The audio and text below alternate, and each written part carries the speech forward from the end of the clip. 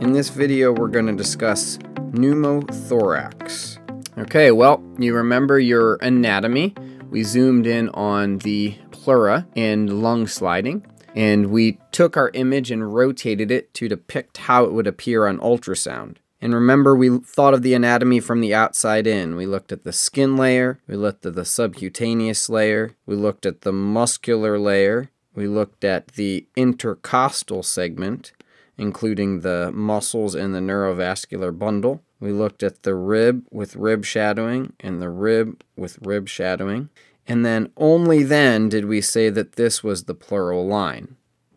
Then we took our high frequency probe, scanned in sagittal orientation with the indicator superiorly at the most anterior portion of the chest, and we focused our attention on the pleural line here, and we saw that there was lung sliding, and that was our normal lung.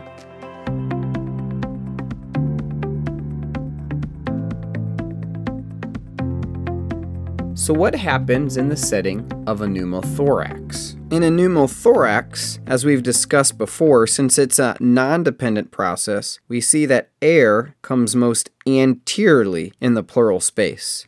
So, if we place our ultrasound transducer on the anterior of the patient and interrogate, first of all, all of the soft tissues anterior to the pleural line will be imaged the same. But when the ultrasound beam hits the parietal pleura, it reflects back and images that the same as the pleural line.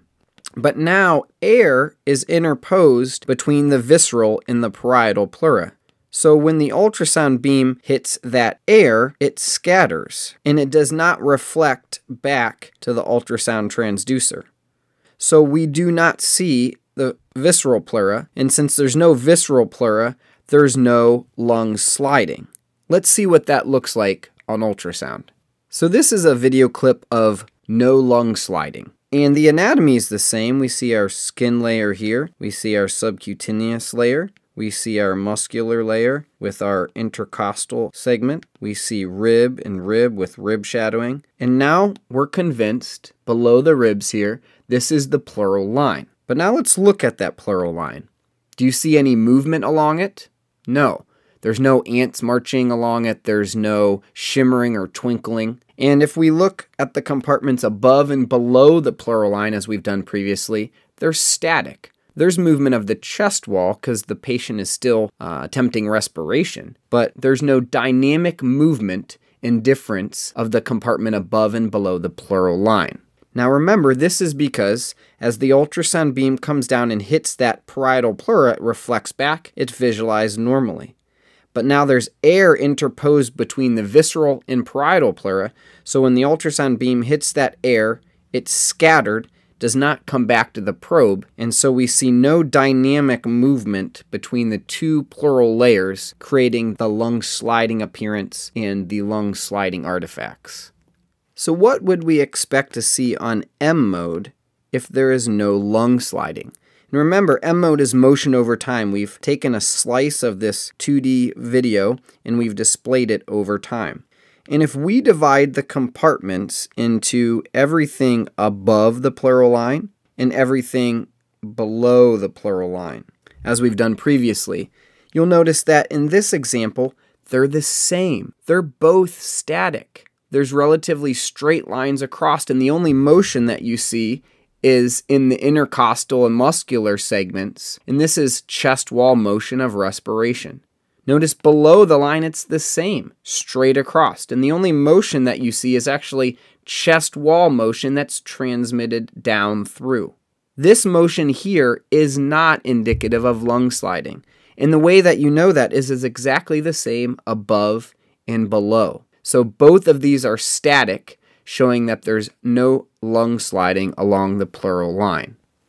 In this M mode appearance has been called the stratosphere sign because of the way that streams from a jet, linear streams appear as a jet flies through the stratosphere. Others have called it a barcode sign, but with the advent of nonlinear two dimensional barcodes, this could be confusing. So now if we compare the M mode appearance side by side, it should become more apparent. Here, lung sliding is present, and here lung sliding is absent. Here we have the sandy beach appearance, and here we have the stratosphere appearance.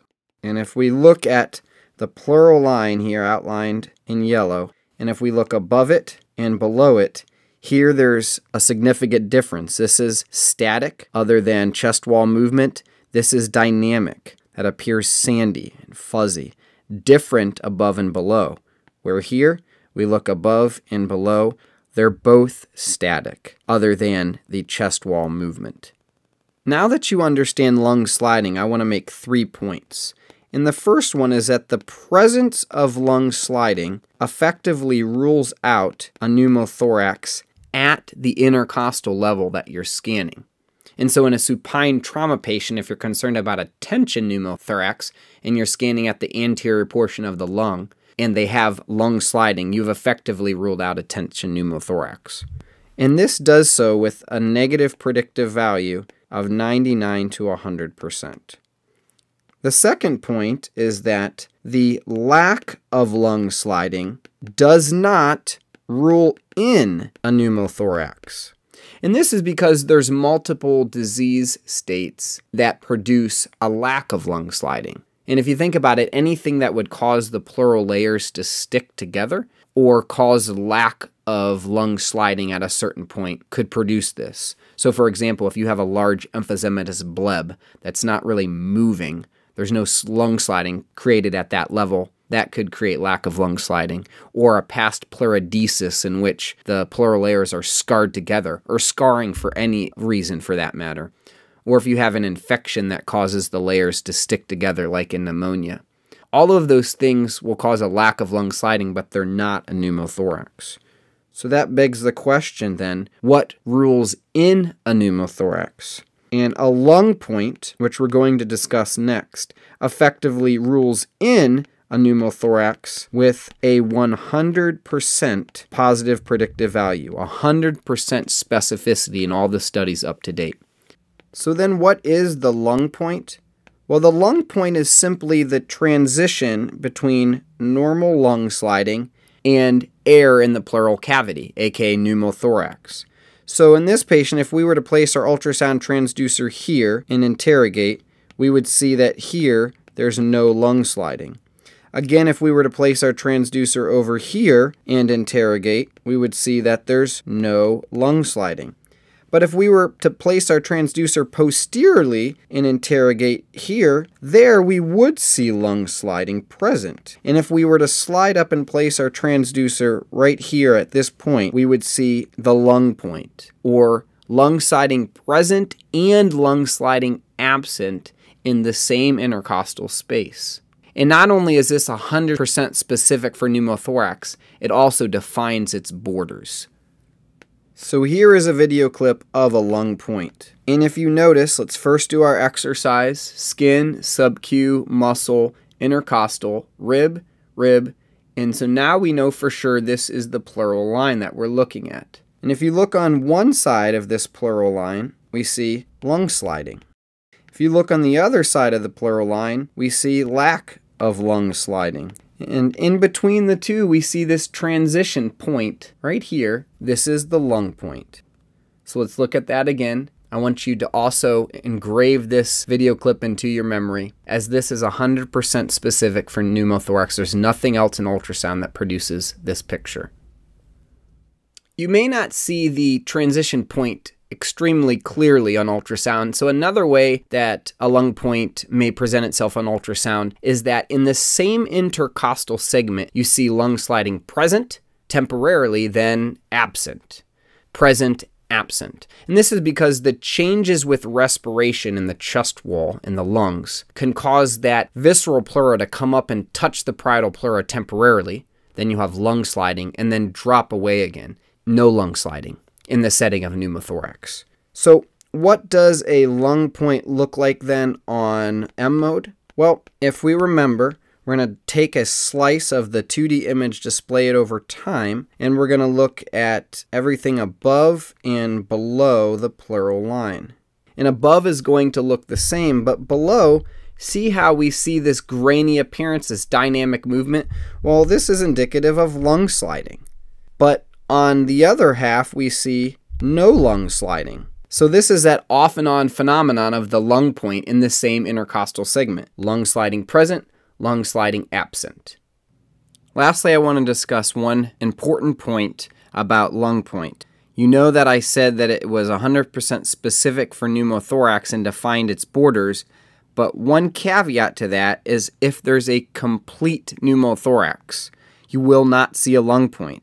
And you can see why here. If you interrogate from any of these directions with the ultrasound probe, you're never going to see that transition point because there is none.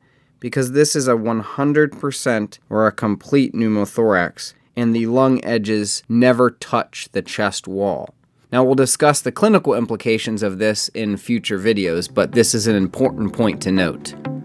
All right, well, that was pneumothorax and lack of lung sliding in the lung point. And in the next video, we're going to discuss the clinical application of all of this in the extended FAST exam.